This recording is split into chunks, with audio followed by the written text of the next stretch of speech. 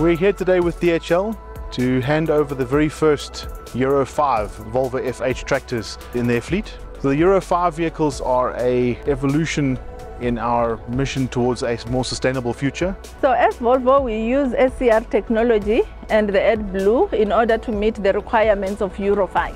We also offer driver training. This is mainly to help the drivers to use the trucks efficiently in order to achieve the good results there on the road. As part of our commitment to sustainability in this country, we are actually producing these vehicles at our factory in Durban, even though Euro 5 is not a legal requirement in the country as yet. But there are customers such as DHL who value more environmentally friendly technology, and these are the customers we are building for.